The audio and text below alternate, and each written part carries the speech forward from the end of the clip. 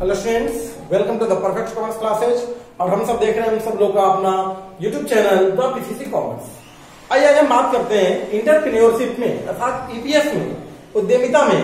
आज हम बात कर चैप्टर नंबर फोर जिसका नाम है identification of entrepreneurial opportunities and feasibility study जी हाँ जिसको हिंदी में हम लोग क्रमशः बोलते हैं उद्यमिती या साहसिक अवसरों की पहचान एवं व्यवहार का अध्ययन। आज हम बात करने वाले मुख्य रूप से कि इस चैप्टर में क्या बताया गया बहुत ही बेहतरीन और बहुत ही अच्छा और शानदार चैप्टर है। इसके बारे में हम लोग जानेंगे भी और इससे आप आसानी से नोट्स भी बना सकते हैं और इसको बहुत कम टॉपिक्स में आपको क्लियर करेंगे कि इसमें हम लोग को आखिर पढ़ना है। देखिए, अब तक हमने पीछे वाले चैप्टर में आपने देखा कि हमने पढ़ा सबसे पहले हमने अवसर के बारे में, यानी अपॉर्चुनिटीज़ के बारे में देखा कि अपॉर्चुनिटीज़ क्या है, कितने प्रकार के होते हैं। और इसे समझना क्यों ज़रूरी है, उद्यमी के लिए, यानी कि एक इंटरप्रेन्योर के लिए अपॉर्चुनिटीज़ का होना क्यों आवश्यक है? उसके बाद आपने देखा, हमने इन्वायरमेंट को देखा बिज़नेस इन्वायरमेंट जिसके बारे में मुख्य रूप से हमने ये देखा कि हमारे बिज़नेस में बिज़नेस इन्वायरमेंट का कितना योगदान होता है यानी जब हम कोई नई इंडस्ट्री के बारे में सोचते हैं, या उसके बारे में हम एस्टेब्लिश करने की कोशिश करते हैं तो ऐसे में हमारी आसपास के इन्वायरमेंट का क्या योगदान होता है क्या कंट्रीब्यूशन होता है क्या रोल प्ले करता है हमारा इन्वायरमेंट उसका क्या इफ़ेक्ट आता है हमारे बिज़नेस पर? अपनी इन सब चीज़ों को हमने विस्तृत चर्चा, पीछे वीडियो में हमने कर लिया था। अगर आप नहीं देखे उस वीडियो को, आप ज़रूर जाकर इस वीडियो को देखिए जिसमें बताया था हमने बिज़नेस बिज़नेस अपॉर्चुनिटीज़ के बारे में बताया था अपॉर्चुनिटीज़ के बारे में भी, और साथ साथ हमने बिज़नेस इन्वायरमेंट के बारे में भी बात की थी। आज हम जिस चैप्टर को लेकर आए आपके बीच, उसमें मुख्य रूप से हम लोग देखेंगे कि जब एक इंटरप्रीन्योर जब एक उद्यमी अपनी पूरी तरह से वो माइंड सेटल कर लेता है, जब वो पूरी तरह से तैयार हो जाता है इसका इस बात को जानने के बाद कि वो अपने लिए अवसर समझ लेता है अवसर की तलाश कर लेता है जब वो अपने इन्वायरमेंट के साथ उसको एक्सप्लेनेशन देख लेता है, वो उसको इंटरप्रेट करके देख लेता है, उसको समझ लेता है अपने आसपास के पर्यावरण को इन्वॉर्मेंट को, कि हमारे हम जो सोच रहे हैं, जो हम अपॉर्चुनिटी का लाभ उठाने जा रहे हैं, उस पर हमारे इन्वायरमेंट का क्या प्रभाव होगा? जब इन सब चीज़ों को समझने के बाद वो पॉजिटिव माइंड होकर के, जब हम पॉजिटिव पूरी तरह से उत्साहित होकर के, जब अपने लिए वो इंडस्ट्री लगाने के बारे में जब विचार करता है या प्रयास करता है तो सबसे पहले उसकी जो शुरुआत होती है, उसकी सबसे पहली आवश्यकता होती है, वो इस बात को लेकर होती है कि वो अपने लिए जो अवसर की तलाश किया जो अपॉर्चुनिटी जो उसने खोजा है, उसको स्थापित करने के लिए उसे सबसे पहले किसका चुनाव करना चाहिए? तो उसमें बात आती है सबसे पहले किसी भी इंटरप्रेन्योर को अपने लिए गुड्स या प्रोडक्ट का सबसे पहला सिलेक्शन होना चाहिए कि हमें बनाना क्या है या हम मार्केट में क्या लेकर जाए। मार्केट में क्या लॉन्च करें? लोगों के बीच में, हमारे कस्टमर के बीच में या हमारे कंज्यूमर्स के बीच में एक इंटरप्रेन्योर क्या लॉन्च करे? इसके बारे में हम सबसे पहले पढ़ेंगे इस चैप्टर में कि एक इंटरप्रेनर के लिए सबसे बड़ा मायने रखता है कि वो कौन सा प्रोडक्शन करे, क्या प्रोडक्शन करे, कौन सी सर्विसेज़ समाज को प्रोवाइड करे, जिससे अधिक से अधिक लोग उससे संतुष्ट हो सेटिस्फाइड हो, और ताकि बिज़नेस को सक्सेसफुली हम आसानी से उसको बिज़नेस को स्थापित कर सके। इसके बारे में अर्थात कहने का मेरा मतलब ये है, इस चैप्टर में हम लोग इसकी बात करेंगे, मुख्य रूप से, कि हमें किसी भी वस्तु, यानी कि जब हम कोई प्रोडक्ट या सर्विसेज़ चुनते हैं, यानी कोई भी वस्तु या सेवा का चुनाव करेंगे तो उससे पहले हमें किन किन फैक्टर्स को किन किन बातों को ध्यान में रखना चाहिए, ताकि हम उस वस्तु को चुन सके। क्योंकि वस्तु को लॉन्च करने से पहले, वस्तु को मार्केट में लाने से पहले हमें विचार करना होगा कि हम आखिर किस वस्तु का निर्माण करें, क्या प्रोडक्शन करें, और किस वस्तु को हम लेकर के मार्केट में कस्टमर के बीच में जाए। तो सबसे मेन क्वेश्चन आपका, सबसे इंपोर्टेंट क्वेश्चन ये अक्सर एग्ज़ाम में भी पूछा जाता है कि आप वो फैक्टर्स बताएँ, वो फैक्टर जो मुख्य रूप से आपके प्रोडक्शन पर प्रभाव डालते हैं या जब एक नया प्रोडक्शन हम जब चुनने जाते हैं तो आखिर वो कौन कौन से ऐसे फैक्टर्स होते हैं जिनका हमारे बिज़नेस पर प्रभाव पड़ता है? आज हम इसकी बात भी डिटेल करने वाले हैं। चलो सुन तो हम बात करते हैं आज। देखिए, हमने जिस टॉपिक की बात की factor considering while selecting product और सर्विसेज़ जी हाँ उत्पादन या सेवा का चुनाव करते समय ध्यान देने योग्य जैसे हमने अभी बात की कि हमें इस चैप्टर में मुख्य रूप से जो पढ़ना वो ये कि आप किसी भी वस्तु या सेवा का जब चुनाव करेंगे, जब आप एक इंटरप्रेन्योर बनते हैं और आप अपने लिए चाहते हैं कि कोई हम वस्तु बनाएँ या कोई प्रोडक्शन करें और मार्केट में उसे लेकर जाए कस्टमर के बीच में, ग्राहकों के बीच में तो आपको उससे पहले कुछ बातों का ध्यान रखना होगा और वो बातें क्या होगी जो इस प्रकार दिया हुआ है, आप देख सकते हैं सबसे पहले। देखिए, सबसे पहले हम किस बात का ध्यान रखें, यानी कि टॉपिक ध्यान रखिए एग्ज़ाम में इस प्रकार से आएगा, आपसे पूछा जाएगा कि आप कोई भी वस्तु या यानी कि प्रोडक्शन या सर्विसेज़ को चुनने से पहले आप कौन कौन सी बात को ध्यान रखेंगे? जी हाँ यही टॉपिक हुआ कि factor considering factors considering while selecting product और सर्विसेज़ यानी कि आप कोई वस्तु या सेवा चुनने से पहले आप किन किन बातों को ध्यान में रखें। तो देखिए, सबसे पहला टॉपिक ये है कि मार्केट असेसमेंट जी हाँ मार्केट असेसमेंट बहुत ज़रूरी है, जिसको हम लोग हिंदी में कहते हैं बाज़ार का निर्धारण। आप सबसे पहले लिखेंगे, पहला टॉपिक होगा कि मार्केट असेसमेंट को सबसे पहले ध्यान रखेंगे। कहने का अर्थ ये है कि हम कोई भी वस्तु ला रहे हैं, कोई भी प्रोडक्शन जब करेंगे तो सबसे पहले हम क्या देखेंगे? सबसे पहले मार्केट ही देखेंगे ना।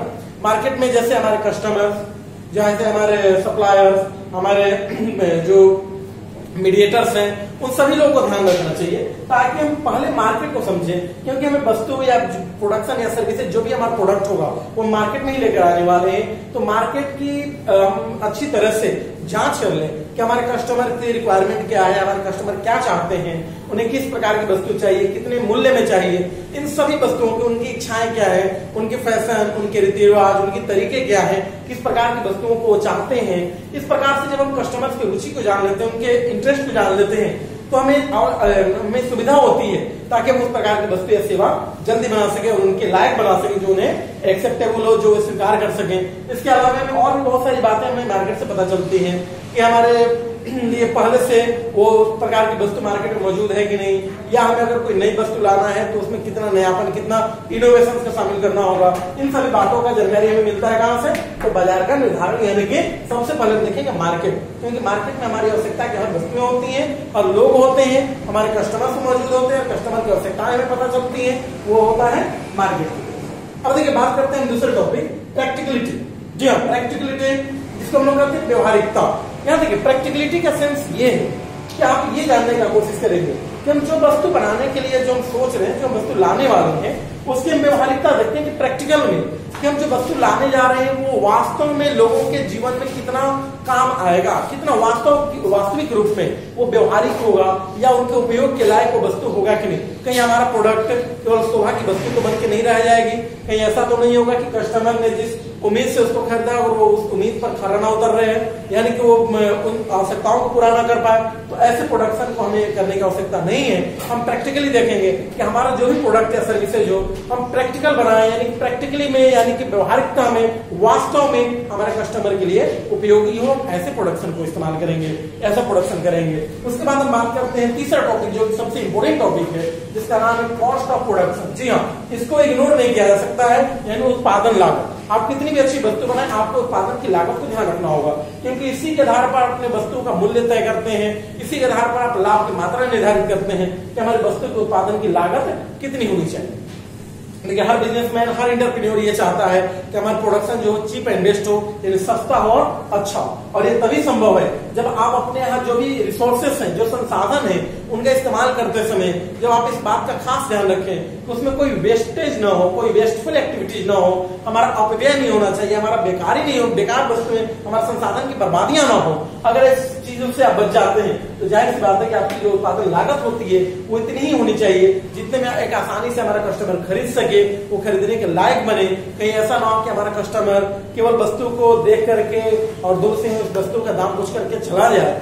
ये स्थिति अच्छी नहीं होती है। हमें लागत को उस माहौल के हिसाब से ध्यान रखना होता है कि हमारे वस्तु की जो लागत है, वो कस्टमर के खरीदने के लायक आनी चाहिए। उसके बाद हम बात करते हैं टॉपिक नंबर चार कंपटीशन जी हाँ प्रतियोगिता। हमने पिछले वीडियो कई वीडियो में बात की थी कंपटीशन की, कि कंपटीशन तभी संभव है या तभी उसी मार्केट में होता है जब हमारे ही जैसे अन्य लोग भी हमारे ही जैसे काम करने वाले अन्य मार्केट में भी लोग मौजूद होते हैं। तो हम कहते हैं कि हमारे उनके बीच में कंपटीशन होती है। देखिए कंपटीशन जब हम आप वस्तु को चुन रहे हैं तो आप वस्तु को चुनाव करते समय, यानी अपने प्रोडक्ट का सिलेक्शन करते समय, उससे पहले आपको ये ध्यान रखना होगा कि हम जिस वस्तु को चुन रहे हैं, उसके लिए पहले से कितने में कितने लोग मार्केट में मौजूद हैं, वो किस हद तक का कंपटीशन दे सकते हैं, अगर मुझे उनसे आगे बढ़ना है तो कितना इनोवेशन करना पड़ेगा, ताकि हमारे पास नए नए कस्टमर जो भी कस्टमर है, हमारे पास जल्दी से जल्दी अट्रैक्ट होकर हमारे पास आ सके। उसके अलावा हमें कितनी वस्तु की लागत को कम करना चाहिए कितनी मूल्य कम करें ताकि हमारे प्रोडक्शन जो हो, कम दाम पर अच्छी वस्तु हम बेच सके, ज़्यादा से ज़्यादा मात्रा में सेलिंग बढ़ा सके। इन सभी बातों को ध्यान रखने के लिए आपको कंपटीशन को ध्यान रखना होगा, क्योंकि कंपटीशन के आधार पर ही बहुत सारे निर्णय लेने पड़ते हैं। जैसे मूल्य तय करना इनोवेशन करना, इन सभी बातों में कंपटीशन मुख्य रूप से भूमिका निभाता है, ताकि हमें पहले से पता चलता है कि मार्केट में किस स्तर का कंपटीशन है और हम उससे कैसे आगे निकल सकते हैं। उसके बाद हम बात करते हैं अवेबिलिटी ऑफ़ रॉ मटेरियल जी हाँ आप कह सकते हैं। कि कच्चे माल की उपलब्धता। देखिए, इसके बारे में कहा जाता है कि कच्चे माल की पर्याप्त मात्रा भी होनी चाहिए, यानी कि एडिक्वेट क्वांटिटी भी अच्छी होनी चाहिए, और सबसे इंपॉर्टेंट चीज़ कि अवेबिलिटी ऑफ़ रॉ मटेरियल यानी कच्चे माल की उपलब्धता। जी हाँ ये बिल्कुल बेहद ज़रूरी है। हम कोई भी कच्चे वस्तु, कोई भी प्रोडक्शन के बारे में सोच रहे हो तो हमें सबसे पहले उस बात को भी ध्यान रखना होगा हमें उसकी रॉ मटेरियल हमें टाइमली अवेलेबल हो सकता है या नहीं। हम वैसे प्रोडक्शन का कभी इस्तेमाल नहीं करेंगे। ऐसा प्रोडक्शन हम कभी नहीं करना चाहेंगे, जिसका रॉ मटेरियल हमें उपलब्ध ही ना हो सके। तो इसमें हमेशा इस बात का ध्यान रखें। अब ऐसा ना हो कि किसी किसी खास टाइम पर हमारे पास रॉ मटेरियल हो, फिर बाकी साल में, पूरे साल के दौरान ना हो। ऐसे में हमारा प्रोडक्शन का काम बीच बीच में रुक जाएगा, जो कि इंडस्ट्री के लिए अच्छा नहीं माना जाता है। हमें उन्हीं वस्तुओं को प्रोडक्शन करना चाहिए जिसका रॉ मटेरियल हमारे पास अवेलेबल हो, या हम कहीं से भी उसको जुटा सकें, ताकि हमारा प्रोडक्शन कभी रुके नहीं। तो हम ऐसी वस्तु को अपनाए, वैसी वस्तु बनाए, जिसका रॉ मटेरियल हमें टाइमली मिलता रहे, और उसकी मात्रा भी उचित रहे, पर्याप्त मात्रा में अवेलेबल रहे, ताकि उसकी कमी न हो। उसके बाद हम बात करते हैं एक इंपॉर्टेंट टॉपिक है, तकनीकी पहलू, यानी कि टेक्निकल एस्पेक्ट जी हाँ टेक्निकल एस्पेक्ट यहाँ पर यह बताया गया कि आप जब भी प्रोडक्शन इस्तेमाल करें, चूँकि आज का जो युग है, वो टेक्नोलॉजी का युग है, आप टेक्नोलॉजी को भूल नहीं सकते टेक्नोलॉजी को इग्नोर नहीं किया जा सकता है। कहा जाता है कि आज का जो बिजनेसमैन है, आज का जो इंटरप्रेन्योर है, वो टेक्नोलॉजी के साथ चलता है। आज का जो हमें अपने तकनीक के साथ चलने का युग है, क्योंकि तकनीकी युग में हम जी रहे हैं। और ऐसे में नए नए टेक्नोलॉजी हमारे बीच में आप देखेंगे दिन प्रतिदिन। हर वक्त कहीं ना कहीं हमें नए नए टेक्नोलॉजी देखने को मिलते हैं। तो आप ध्यान रखेंगे कि जब भी आप कोई वस्तु का प्रोडक्शन करने जाए तो जो लेटेस्ट टेक्नोलॉजी है, उसका ज्ञान आपको होना चाहिए और हमें वो टेक्नोलॉजी को एडॉप्ट करना चाहिए टेक्नोलॉजी को अपनाना चाहिए ताकि उससे हम अच्छी वस्तु में कम मात्रा में टेक्नोलॉजी के चूँकि अलग अलग फ़ायदे हैं। टेक्नोलॉजी होने से आपका समय बचता है, अच्छी क्वालिटी प्राप्त हो सकती है। और लोगों के लिए पसंदीदा होता है तो इस प्रकार से टेक्नोलॉजी को भी हम साथ में लेकर चले और टेक्नोलॉजी को अपनाना चाहिए। लेकिन यहाँ ध्यान देने की बात है कि टेक्नोलॉजी अपनाते समय एक मुख्य बात यह है कि हमें उसी टेक्नोलॉजी को अपनाना चाहिए जिस लायक हमारा समाज अभी है।